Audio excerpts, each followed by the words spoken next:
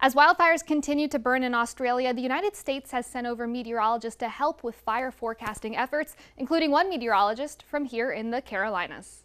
We come here and, and provide supplemental staffing when they've got a lot of fires going on. Terry Lebo is a forecaster at the National Weather Service office in Wilmington, North Carolina.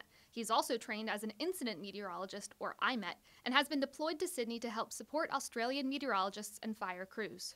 Sydney office is basically responsible for the state of New South Wales. So that's that's the fires that, that are in New South Wales. That's what we're concerned with. IMETs like Lebo do not monitor the fire itself. Rather, he monitors the weather near fire sites and passes on chances or potential problems to fire behavior analysts. I've always liked the decision support type stuff. I like the interaction with our users. It's very rewarding, satisfying. You get instant feedback whether you're right or wrong. These meteorologists typically support forecast efforts for large scale incidents here in the United States, such as wildfires in California or hurricane relief efforts. Forecasting in another country, let alone another hemisphere, comes with a unique set of challenges. It's interesting because everything is opposite to what we're used to. In a cold front, they, they come in, the cold air comes from the south, the warm air comes in from the north. Lebo is part of the third group of meteorologists to deploy to Australia in six-week shifts and will be there through the middle of February.